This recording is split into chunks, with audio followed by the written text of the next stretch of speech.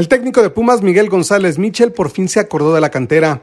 Después de que el torneo pasado no debutó a nadie en el torneo de liga, el fin de semana echó mano de dos canteranos durante el choque ante los Tuzos del Pachuca, Jesús Rivas y Marco García.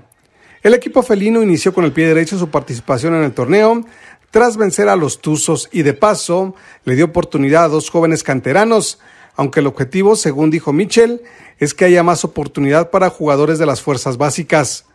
Aunque el calendario que se le presenta a los felinos no será sencillo, porque van a Juárez, después reciben al campeón Monterrey y luego visitan al líder general del torneo pasado, a Santos Laguna. Será complicado que por lo difícil de los rivales, Michel le dé oportunidad a los canteranos, porque los felinos tienen la obligación de calificar a la liguilla, aunque el español tendrá la última palabra.